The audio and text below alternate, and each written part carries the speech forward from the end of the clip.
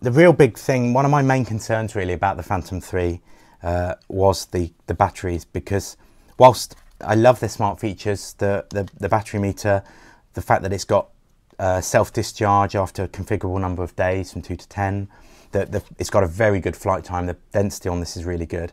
The cost is, is really high though. Uh, this is um, more than 10 times the cost of my Phantom 1 batteries.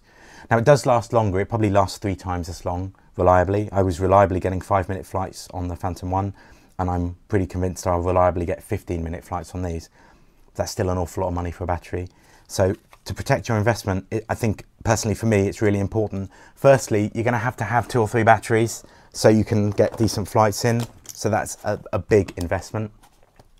The, um, so the first thing I did was it's really important for me that if I see good weather, I can fly fairly quickly. So for my normal flight lipos, I have a, a, bank of chargers so I can charge up very quickly. So I wanted similar for this. So the, the Phantom comes with uh, the, the charger, which can charge your battery or the transmitter, but they say not to do both at once.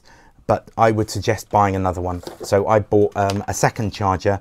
So I've got two chargers so I can charge two of the flight batteries together, or I can charge the transmitter and the flight battery together so I can do all my batteries and the charger in and the transmitter in sort of two passes. So looking at about 40 minutes on the 100 watt charger, that means that in an hour and a half I can be ready to fly. So if I look and the weather looks good for the next day, or even if I get up in the morning and it looks like a nice day, if I fire up the chargers, literally by the time I'm ready to leave, I've got everything charged and ready. The other thing is you don't really want to leave these batteries full for exactly the same reason that it's going to reduce their life. And given how expensive they are, that's really important to manage. So uh, you can um, ideally just fly a little bit to take the edge off the battery.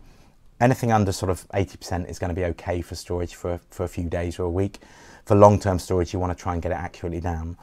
This, these dischargers uh, with a light bulb are, are, pretty cheap, so I just bought one of these on eBay. This again was uh, £7.83 delivered.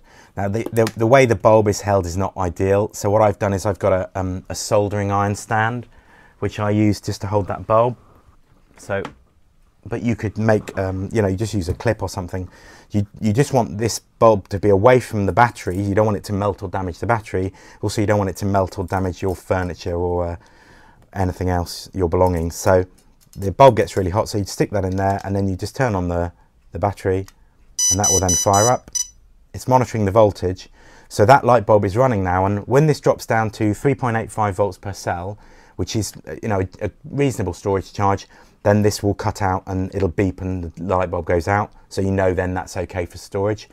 It also has a deep discharge option where once it's got to that point, there's a little button underneath. You can push that and that will then run down to 3.5 volts under load, which is a long-term storage level. Uh, DJI recommend every 20 flights that you would uh, dis deep discharge the battery. They say to 8%. Now you could do that by flying. Obviously, there you go, that's cut out now. So that's down to 3.85.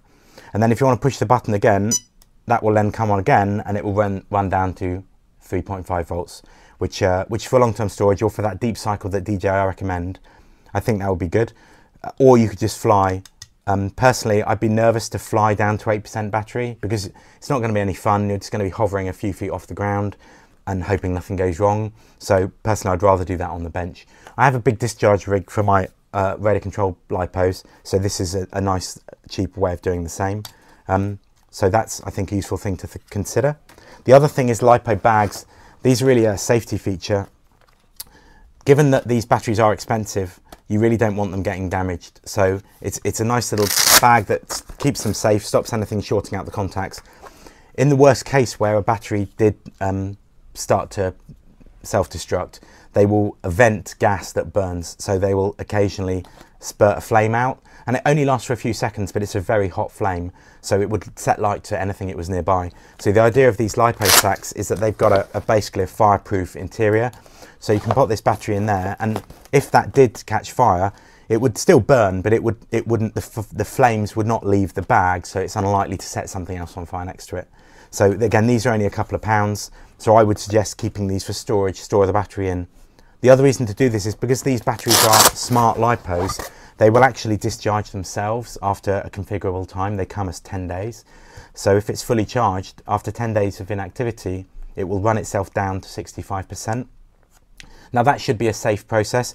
It'll do that by generating some heat, um, but not a lot because it takes two days to discharge. But for my own peace of mind, I would personally rather that was stored somewhere safe. So using these little LiPo bags, again, they're a couple of pounds, so I really recommend it's a good thing to have.